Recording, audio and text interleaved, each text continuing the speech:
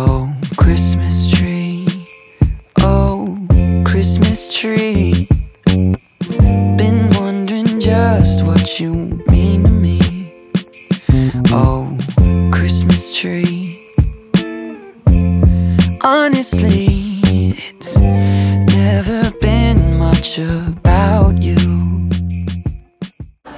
guys! Welcome to my channel. It's me, Jerome Gonzalez. So right now, nandito kami sa SM Mega Mall with my mom. Tsaka kasama namin si Anteline. Ayun siya. So today is, anong date ba? December 8 and biglaan lang tong vlog na to guys kasi dapat di ako mag-vlog. And actually, earlier kaya kami umalis. Napadaan lang talaga kami sa SM Mega Mall kasi galing kami sa Red Cross para magpa-booster shot. Sana naririnig niyo ako kasi ang ingay dito. Ayan guys, bibili kami ng rice cooker from Brick, yung brand niya. Anong brand ba ng rice cooker na? Asahi? Asahi. Nasira na kasi yung rice cooker namin. So, ayun. Kailangan namin bumili. And guys, check it out. Ang dami nilang Christmas decoration dito. Sobrang sarap mag-shopping kasi ang daming discount. Yung proof na talagang tumatanda ka na kapag nag enjoy ka na sa pagtitingin ng appliances, mga pang interior, decoration, ganyan. Proof siya ng adulting. So, ayun. Ngayon, ano, natutuwa ko kasi sobrang daming Christmas balls, daming Christmas decorations dito. Ito, oh guys, tignan nyo to, ang ganda. Kaso 1-3 siya eh. Medyo pricey. Ayan. So maybe next year, I'm gonna go for white and gold sa Christmas tree.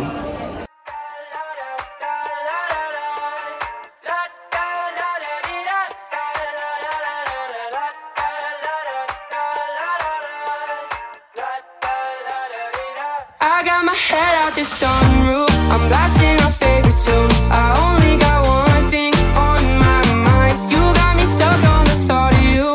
You're making me feel brand new. You're more than a sunshine in my eyes. You got those pretty eyes. The prices of the Christmas decorations are starting to go down. Nagdi-discount na sila guys kasi malapit na mag-Christmas. So, ayun, sinisale na nila para mabili na agad.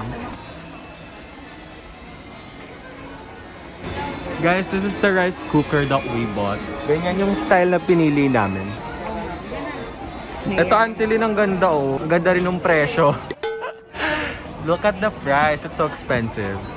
You know it. You got me dancing in my bed, so let me show it. You are exactly what I want. Kinda cool and kinda not. Wanna give myself to you.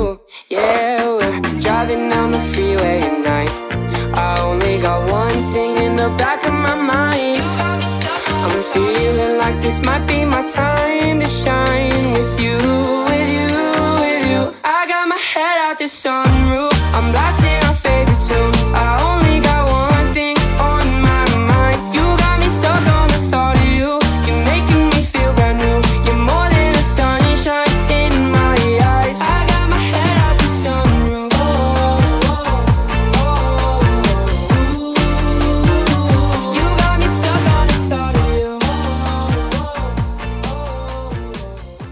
Ganyan yung gusto kong theme, color white and red. Diba? Ang ganda ng decoration nila sa side. Gusto ko talaga yung theme na white and red for Christmas. And very Christmas pa rin, pero at the same time, elegant. Guys, siguro kung wala lang bata sa bahay, maglalagay akong ganito. Kasi kapag nilagay ko to dun sa may console table namin, malapit sa TV, kukunin lang to ni Elijah, masisira lang. Ang ganda talaga ng white and red na Christmas decoration. Dami rin nilang Christmas balls. Mas mahal kasi guys yung Christmas balls pag mas malaki, obviously. Pag mga 7 centimeters, ganyan, expect nyo na mas mataas yung price. Pero ano naman, kung pipili kayo, dapat yung pwede nyong gamitin every Christmas para naman ano, hindi masayang. Kumbaga investment nyo na rin siya. So for example, you can buy white Christmas decorations. Tapos you can just mix it with different colors. Like this. Dito oh, may mailbox. Ayaw bumukas. Di, siya, di ko siya mabuksan. Cute ng mailbox. Di naman uso mailbox sa Philippines. Guys, ang daming pang homebodies. Sa mga may gusto ng ganito, ayan, 200 pesos. Kasi guys, I'm planning to put a plant dun sa shelf na malapit sa TV kapag tinanggalan namin yung Christmas tree. Gusto ko yung medyo malaki, ganyan. Siguro ganitong style, okay din to. Magkano kaya? Ayang muna lang, 1K lang. Na-expect ko 1.5 or 1.8 siya ganun.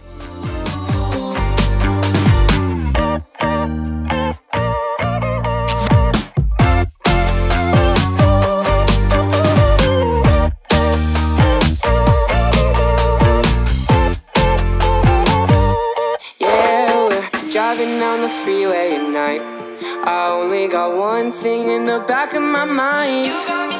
I'm feeling like this might be my time to shine with you, with you, with you. I got my head out the sunroof. I'm blasting our favorite tunes. I only got one thing on my mind. You got me stuck. Ganito yung binili natin, oh. Ito, ito mismo. Guys, ito yung binili namin. Hindi ko kasi na-vlog. Ito yung rattan basket. 679. Sana naririnig nyo ako. Ginawa namin storage box tong rattan basket.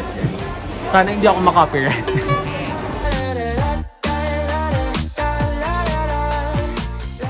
Naalala ko yung pinost ko sa homebodies na nag-viral. Kasi, tas pinost din ng SM. Dami nag-like. Share ko lang.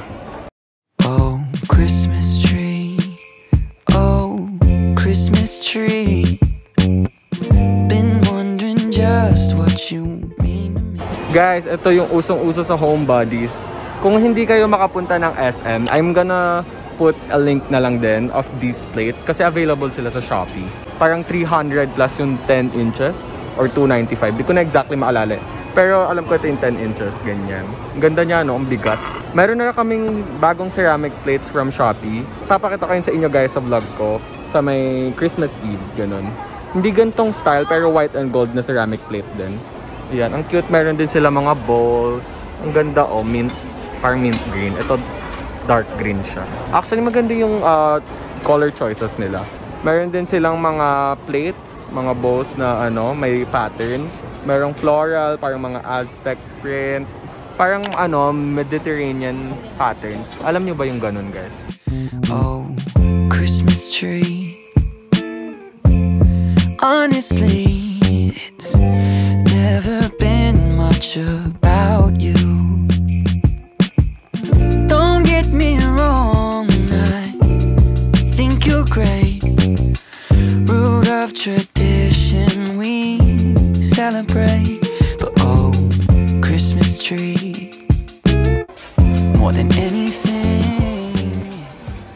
ganito yung pinagpipilian namin ni Mami. Ang cute ng color nito kasi madumihin siya kaya ito- hindi ito yung pinili namin.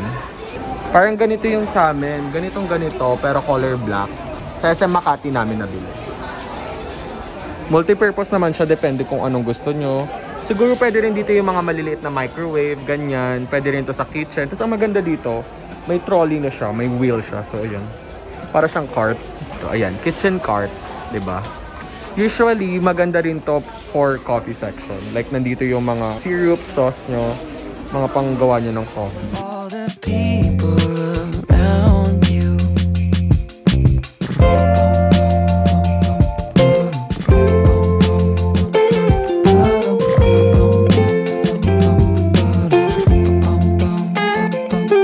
My sister's here. Guys, meron din neto sa Shopee. Pero sa SM Makati, bumili kami ni Mami ng ganito. Itong size na to, ganito. Lalagay namin to dun malapit sa dining table. Nilalagyan namin ng mga kung ano-anong tambak, ganun. Para man naka-organize siya. Bamboo siya, guys. Tapos meron siyang canvas sa loob. Ito pa mga storage oh, para maayos tignan. Sa bedroom nyo. Pwede to. Pwede rin ata to upuan, eh. I'm not sure. Medyo manipis to. Merong gantong version makapal. Ayan, large siya, ganyan. Guys, ang cute ng mesh basket nila. Pag bumili ako nito, hindi ko alam kung saan ko siya gagamitin. Medyo malaki kasi siya.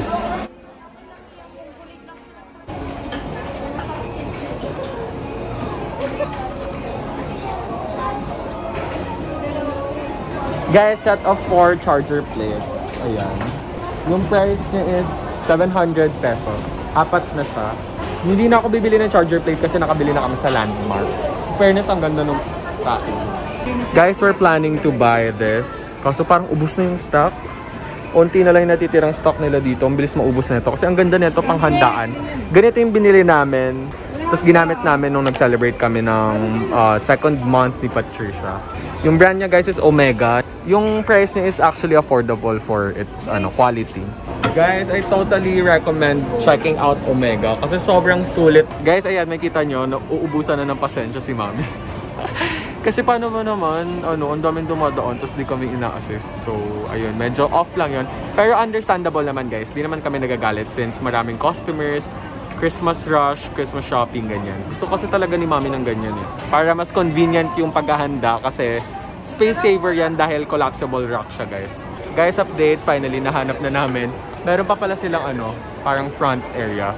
Doon kasi kami sa gilid kanina, wala nag-assist. Guys, it's a little bit pricey, 1.7. Pero kasi ang maganda dito, malalim na siya. So, pwede namin lagyan to ng mga pasta, ganun. My brothers flew in this afternoon. We're catching up. Guys, dream um ano ko, coffee maker for capsule. Kaya-kaya naman ang budget. Kakayanin naman ang budget. Ang, I like this one kasi para siyang off-white. Yan, 7,500. Guys, if you want the glassware na may colors pang ano holidays like Christmas and New Year or maybe even birthdays, kung anong gusto niyo celebration, maganda to. Mura lang siya 4 pieces na 350 pesos lang. Mas mura dito kasi sa Shopee. Meron mga nagtitinda nito sa Shopee pero ang mahal nila binebenta. Ayan siya guys. Ganito yung sa amin. Sa bahay. Ayan. We're catching up. Oh, what a year.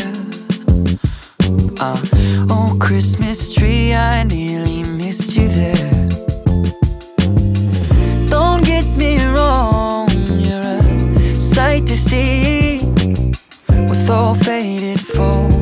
of family. But oh, Christmas tree, no, you don't mean a thing.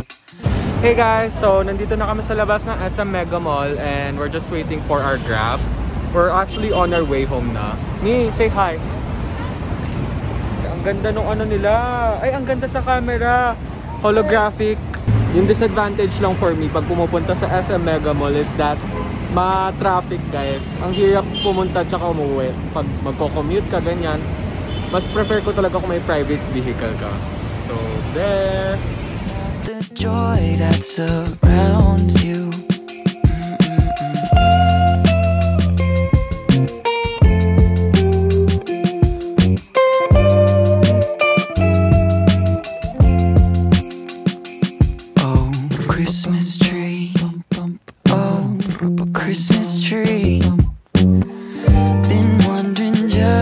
What you me. Oh, Christmas tree. Honestly. Okay guys, so before I end this video, let's do a quick haul ng mga napamili namin. So disclaimer, I'm not doing this in any way or form to brag, but I just want to share some ideas and tips to you guys kasi para magkaroon kayo ng mga, ayun nga, idea kung ano yung mga pwede nyo mabili sa SM. So let's start with this one first. Itong malaki na yung unahin natin.